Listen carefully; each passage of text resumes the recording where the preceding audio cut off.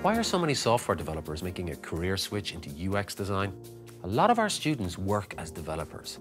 This is what they told us about making the transition into UX. These students love technology and they love working in the tech industry, but they want to get involved in the more human side of technology. They want to develop their people skills. They're interested in human behavior, in how people interact with digital products, and their underlying motivations. And they want to work on projects that use this knowledge to solve real problems for real people by following the proper user-centered design process. These developers want to have more influence in how a product is designed, not just in how a product is built. And they want to use this influence to make sure they're creating great products and great experiences. On top of this, they want to work in an environment where they can use their creative skills, such as problem solving and critical thinking and research and design. Because ultimately, for them, they want more than just a job. They want a career.